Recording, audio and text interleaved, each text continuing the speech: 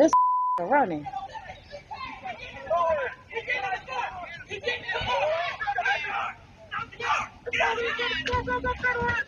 Oh, he tried to run over the police car. Wow, the new here at noon. That is some new video showing the chaotic scene that unfolded in a Gastonia neighborhood yesterday.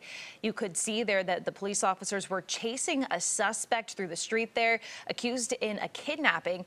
He got into that white car there, backed up, appeared to even hit an officer, run him over with a vehicle.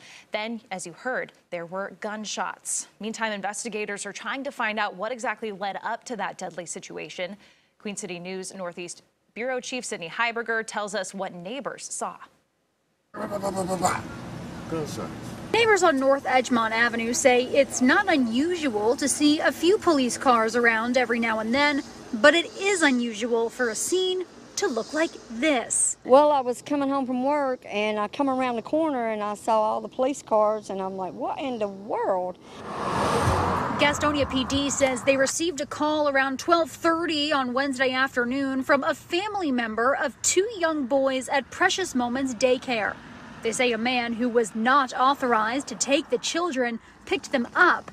The suspect's stepfather says the kids were his little brothers-in-law. Whether he had the right to have him here, I don't I don't know nothing about that. That was my son. I let him in the door. The investigation took police here, where they found the two children unharmed in a home and Jason Lipscomb trying to flee in a car. During the course of that investigation, the uh, suspect was operating a vehicle, struck one of our officers, and uh, it, at least one officer discharged uh, his service weapon. The officer was taken to the hospital.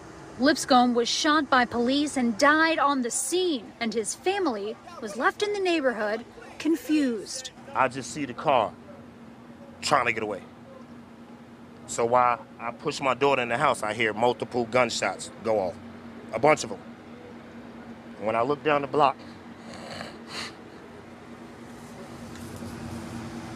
I'm sorry.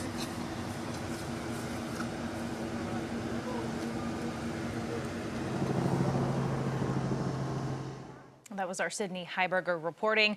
A Gastonia Police Department spokesperson says that the officer involved does have serious injuries, but is expected to be okay.